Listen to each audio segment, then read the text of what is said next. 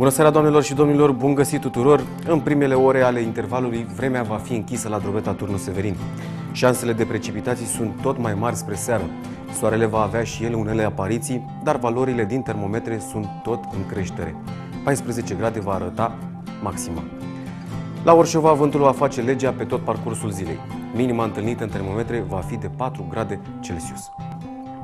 În Baia de Aramă, soarele va fi mai activ spre amiază. Vântul va avea ceva intensificări, dar slabe.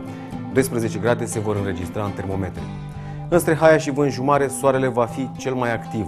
Maximele termice vor crește ușor. Vântul nu va prezenta nicio suflare, iar temperatura se va încadra în termometre între 3 și 13 grade în ambele localități. În capitala Olteniei, Craiova, așteptăm averse de ploaie care pot fi însoțite de descărcări electrice, iar noaptea vor fi precipitații mixte. Temperatura maximă va atinge pragul de 13 grade Celsius. Nici bănățenii nu sunt departe de Olteni. Soarele va fi unul îndrăzneț, dar cu dinți. Vântul va sufla cu putere spre seară, iar noaptea sunt șanse de precipitații. Minima va ajunge la un grad Celsius. În București, posibil să plouă slab în prima parte a zilei.